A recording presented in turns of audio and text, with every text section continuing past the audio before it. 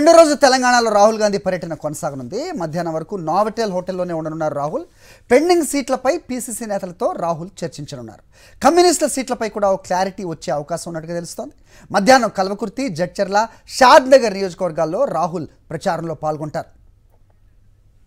Right ఇదే అంశంపై మరిన్ని అప్డేట్స్ మా కరెస్పాండెంట్ రాకేష్ ఇస్తారు. నావటెల్ వద్ద ఉన్నారు ప్రస్తుతం. రాకేష్ చెప్పండి మధ్యాహ్నం వరకు నావటెల్లోనే ఉంటారని తెలుస్తోంది. ఆ తర్వాత సభలున్నాయి.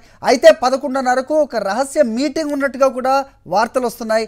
ఎవరిని కలవబోతున్నారు? దాని అంశం మీ దగ్గర ఏమైనా ఇన్ఫర్మేషన్ ఉందా? ఎస్ వరుసగా రెండో రోజు తెలంగాణలో రాహుల్ గాంధీ ఎన్నికల ప్రచారం చేయబోతున్నారు. ఈ రోజు కలవకుర్తి జడ్చెల్ల షాద్ నగర్ కలవకుర్తి జడ్చెల్లలో రెండు బహిరంగ సభలను అడ్రస్ చేయబోతున్నారు. ఇక సాయంత్రం షాద్నగర్లో భారీ ర్యాలీ చేపట్టబోతున్నారు. ఈ మూడు సభలకు సంబంధించి ఇప్పటికే షెడ్యూల్ విడుదల చేయడం జరిగింది. ముఖ్యంగా రాష్ట్ర ప్రభుత్వ వైఫల్యాలపై తీవ్ర స్థాయిలో ఎత్తి చూపుతూ ఇక్కడ అవినీతి జరిగిందంటూ కూడా ప్రశ్నిస్తున్న పరిస్థితి కనబడుతోంది. తెలంగాణలో కాంగ్రెస్ అధికారంలోకి వస్తే ఆరు గ్యారంటీని అమలు చేయడం కాకుండా ప్రజాస్వామ్యాన్ని ఇక్కడ ఎలా ఉంటుందో చూపిస్తామని పదే పదే రాహుల్ గాంధీ చెప్తున్నారు. తెలంగాణ ఇచ్చిన కాంగ్రెస్కు ఒకసారి అవకాశం ఇవ్వనట్టు కూడా పదే పదే రాహుల్ అభ్యర్థిస్తున్న పరిస్థితి కనబడుతోంది ఇక ఉదయం నుంచి కూడా టీ కాంగ్రెస్ నేతలు వరుస సమావేశాలు నిర్వహిస్తున్నారు. ముఖ్యంగా లెఫ్ట్ పార్టీలకు సంబంధించి సీట్ల విషయంలో ఇంకా క్లారిటీ రావట్లేదు. ఎందుకంటే ఆ లెఫ్ట్ పార్టీలకు ఇవ్వాలనుకున్న నాలుగు సీట్లకు సంబంధించి చూస్తే మనకు వైరా గాని కొత్తగూడెం గాని మిర్యాలగూడ గాని చెన్నూరు గాని. ఈ నాలుగు సీట్లకు సంబంధించి కూడా కాంగ్రెస్ పార్టీకి బలమైన అభ్యర్థులు ఉన్నారు.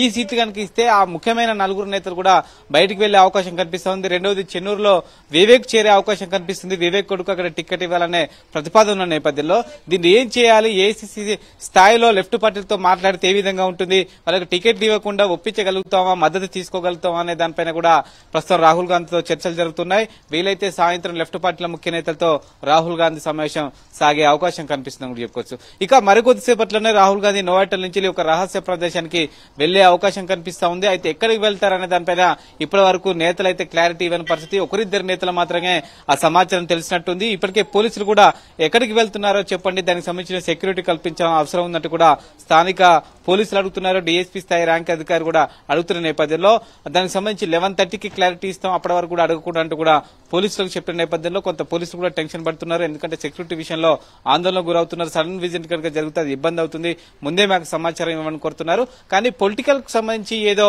ఒక నేతల్ని గానీ లేకుంటే ఒక సంబంధించి ఒక ఆశ్రమానికి సంబంధించి వెళ్ళే అవకాశం ఉన్నట్టు తెలుస్తోంది. ఇక్కడికి ముచ్చింతల దగ్గరలోనే ఉంది.